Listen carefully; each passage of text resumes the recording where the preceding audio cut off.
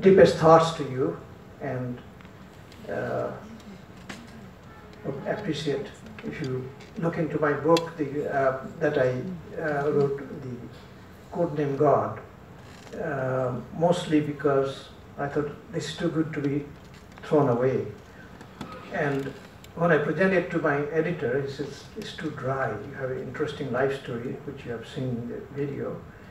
Why don't you add it on uh, to get the, you know, give them a, uh, get it over the hump. And that's why I wrote the book. So when you start reading it, you will see that I, I tried to interweave my uh, life with uh, uh, the, the, the, scientific idea of oneness, eventually giving the background of what we know now to come to the conclusion that everything is coming from one source. So that has been a uh, uh, something that Abdul Kalam really liked it. He said he reads three books, uh, and is that always one of them was Code Name God, and that uh, made the book very popular in India. It was a bestseller in America also, and translated into quite a few, or at least dozen languages. So anyway, anybody who wants to uh, dig deeper, you can look into that. And uh, and now there's other people are coming with similar kind of things also. I hope that I have not bothered you too much. I, it has been a great pleasure to talking to you. Thank you for listening to me.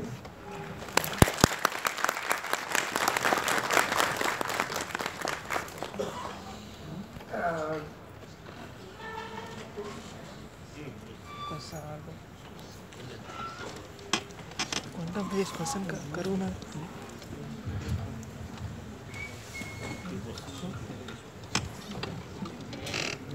Yes, yes, if you have time, I'll be very delighted. Uh, it has been I've talked quite a, quite a while. Thank you for your attention. But um, I'll be delighted to uh, answer some questions. So, um, who's talking first? I don't know. Can, can, you, can, you, can you stand up and uh, uh, uh, uh state, state your name, please? So My name is uh, Shandeep Paul. Shandip Pal. Okay. Uh, sir, you told that all particles are placed on the same footing as all forces, major forces, electroweak and strong. Right. So can you likely, uh, slightly elaborate the concept? I mean, particle, okay, how they can be similar as forces? Very deep and interesting question. Obviously, it's very puzzling. Uh, particles which seem to be so physical, I can touch this table. But when you look into it, that uh, they're being held together, of course, with the electromagnetic force. And uh, the uh, carbon or other particles that are holding it together, again, all also coming from the same quantum type same type of field, the quantum field. So in today's, you know, uh, I think, um, as I said, the reality that we find today, we live in, uh, can be described very well with this quantum field theory. According to that, the source that produce forces, force particles, like photons, like gluons, or gravitons, uh, or you know the W and Z bosons, they come from exactly similar kind of objective reality, which is the fundamental reality of, so far as you know at this time. They are equivalent in producing, uh, they're equivalent to fields that produces the particles. And that's why we believe that the when you find the unified field, it will contain not only the force fields, but also fields of particles. That's what I try to show that electrons, even though they look like a uh, like a little marble ball, but in fact it is actually a wave, packet of wave, but a special packet in a sense that it is a holistic uh, particle that you cannot take like a water wave, little part of it.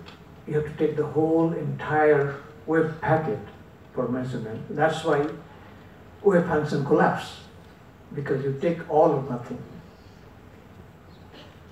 That's why it acts as a particle.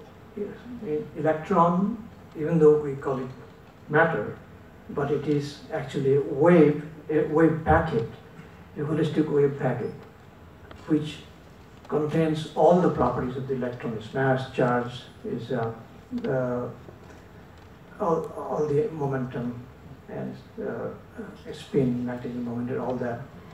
But it's still a wave until you only, only measure it, you take the whole thing, that's why it looks like, that's why it acts as a particle. So that's why in our modern scientific worldview, the force particle and wave part uh, and matter particle are on equal footing. Okay, thank you. Uh, good question to start with. It's a, a little bit of a, uh, uh, what should I say, counterintuitive to us because we are used to force is, uh, you know, something abstract and uh, something can uh, kind of see the matter we can touch and feel. How can it be same? But when you really go down to uh, the basic reality, objective reality they find, there they really come from equal footing. Anyway, we have some. I have a question. Uh, so we've been, uh, some of us here have been working on quantum computing uh, as well as quantum cryptography. So I was curious about your views of um, the, we do have uh, experimental results and demonstrations of very small quantum computers, but um, what are your uh, views on this for real life applications where it does matter? Well, I think that it's not just my view. Uh, that most of the people who are working on this are working very feverishly. And in fact, uh, the U.S. Uh, Department of Defense, the DARPA, uh, Advanced Research Project, is spending a huge amount of money uh, uh, to develop uh, quantum computer. And of course, it did not replace digital computer, because quantum computer, as you know, uh, you give a uh, uh, input, yes or no, and it will give a uh, output, uh, but the calculations uh, can be much faster, like 10 to the 20 times faster than the fastest computer we have. But there also has to be always complemented with digital computer that we have. But the um, expectation is that uh, not too distant in future, we should have a quantum computer, at least, you know, uh, uh, the, I believe the proof of uh, principle has been already demonstrated. And uh, to make a working, actually working quantum computer, uh, I would say probably in a decade or two, would have a, would a you know, all, all the necessary components, the logic gate and the uh, qubits, they're all pretty much in place. You have to put it together. So really making fast, it's a very fast moving uh, field. And quantum cryptography is actually now a very well established field and uh, actually in actual use. Now that uh, uh, the, the Chinese satellite, they put in a entangled uh, entangled system in, in the orbit. Um, the uh, you know Anton Zeilinger, who is one of the um, uh, one of the person in the forefront, he says that we'll have a not only a quantum computer, a quantum internet someday that cannot be uh, compromised. Uh, you can compromise it, but it'll self-destroy just like the quantum cryptography does now. So I think the future is really very bright and promising, and uh, uh, is again just like we haven't got the final unification yet. Yet everybody believes we are going to reach there. So it's a most of the I, I'm not in that field, but all the people I know that are working on it, uh, that quantum quantum, computer uh, and you know tele- teleportation that has been dis- uh, actually demonstrated for one single uh, particle, but uh, quantum teleportation would be another uh, reality, like Star Trek. Uh, uh, not not a human yet, but at least we can teleport uh, some quantum states and eventually some tangible thing that we can do that. So I think we're in the right field. The only thing I may not be there when it you know, when it is done. Done. So I'd like to be flying the wall thousand years from now, because the way things are moving so fast, you exponentially, uh, uh, it's hard hard to imagine what what we would uh, yeah, achieve. You know, we don't even think of, thought about it, but suddenly quantum computer and what probably quantum teleportation would be uh, something realizable, not too distant in the future. Thank you very much. Yes. Sir, I have one last question. This is the last one. My name is Debarka Sengupta and uh, I'm a computational genomist. You're Computational genomist, genomist. yes. So I don't have the training to understand what you said, but I have a rather philosophical question because I know you are one of the very few who juggle with both theoretical physics as well as the philosophical aspects of um, this world. So my question is, you know, can we really know? I mean, do you really know that whether whether human mind is capable, uh, biologically or in whatever aspect, physically, mentally, are we capable of solving something like a unified field theory? Capable of what? Are we physically fit? so you know, There- there- Mike- Mike, so- sorry, Mukti, sorry. so can you hear me now? Hmm. Yes. Okay, so what I'm saying is, how do we guarantee that we are really capable of solving something like unified field theory, right? For example, there could be biological challenges. Maybe human mind is not capable enough for, you know, for solving something which we, which we would like to solve, right? So is there such a guarantee that, you know, this is a very funny question, I guess. But that kind of stumps me quite often. I kind of think that is it possible that we are giving all this effort to understand the world better, to find something unified, but in the end of the day, it happens there is something bigger, you know, uh, there's a bigger picture where we are so small, we are biologically or physically or by dimensions that we can be quantified as human beings is not sufficient to solve those kind of things, the, the creation of our own selves, right? So we're trying to understand what created us. So I'm trying to understand that how do one, you know, how, how can you guarantee that you'll finally solve something like that, right? Something like unified field theory. Yeah, well, yeah, of course, you have touched upon something that would um, involve quite a few disciplines. I'll first tackle the single one.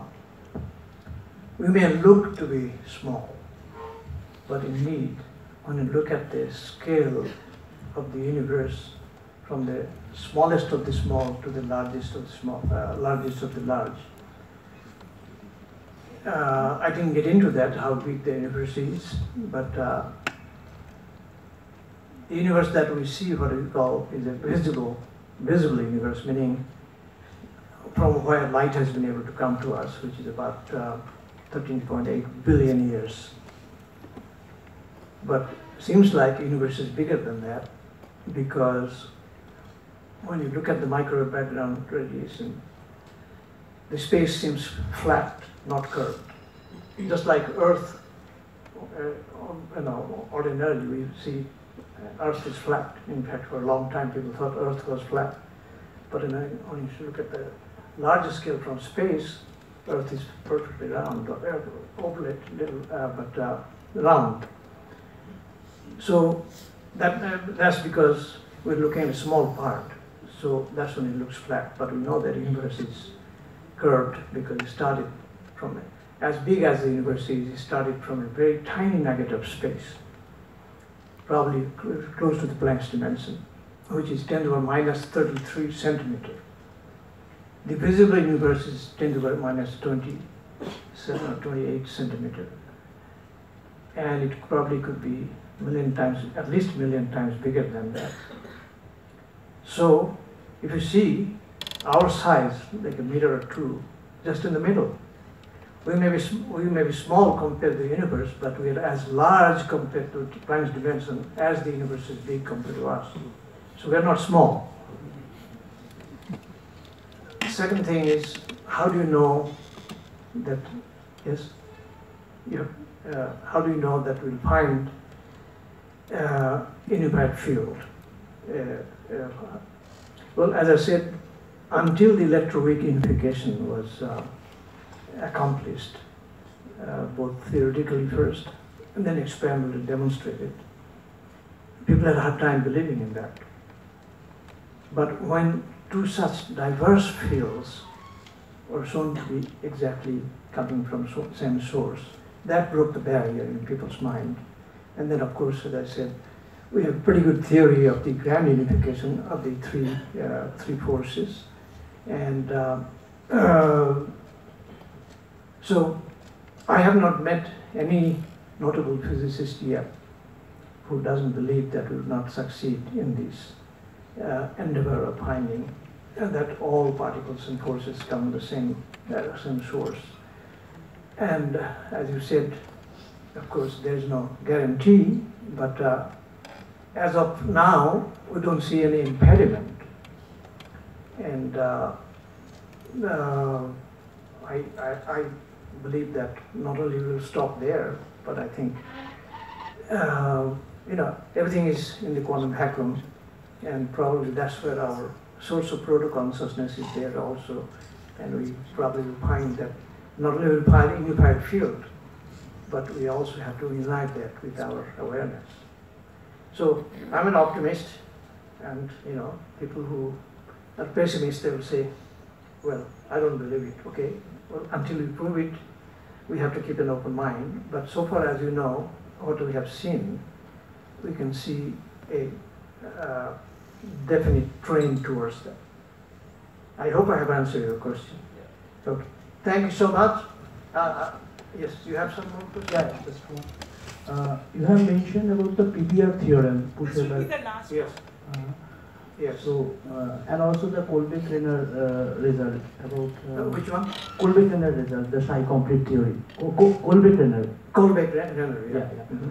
Uh, but uh, uh, so uh, maybe this is uh, after the uh, result. Uh, there are lots of uh, criticized by uh, Ghirardi and uh, uh, uh, um, Emerson uh, about the uh, assumption which has been taken in uh, both the cases in Kolbe-Kleiner and uh, PBR theorem.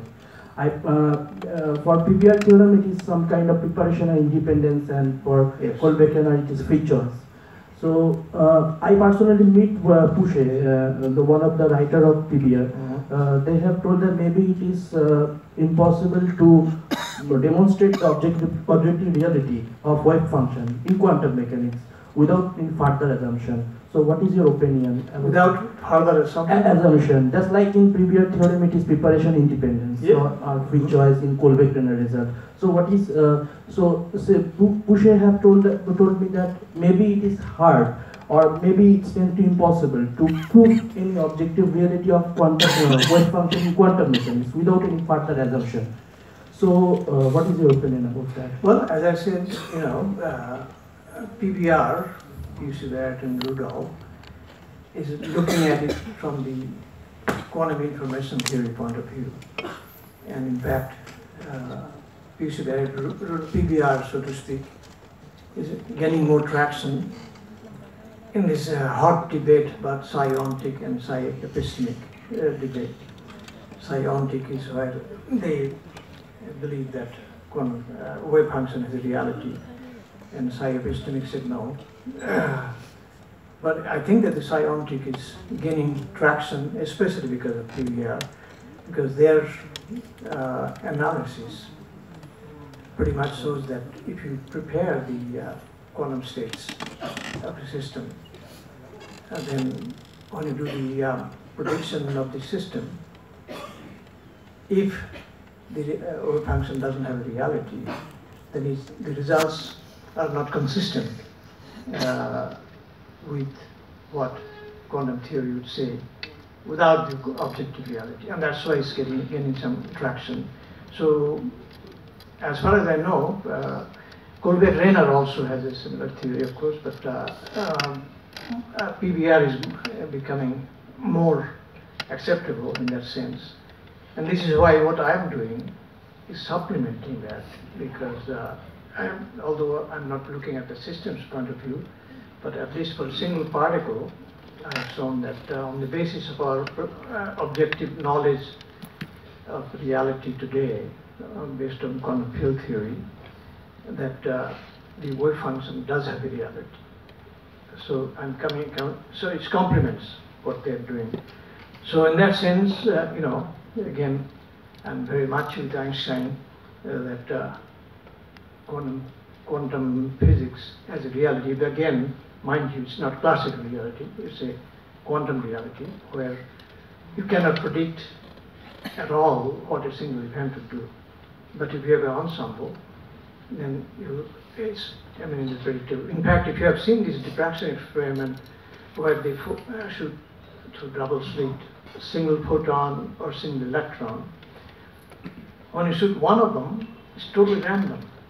Even 10, even 100, it looks like a random pattern. But when you have 100,000, then it, you start to see the diffraction pattern.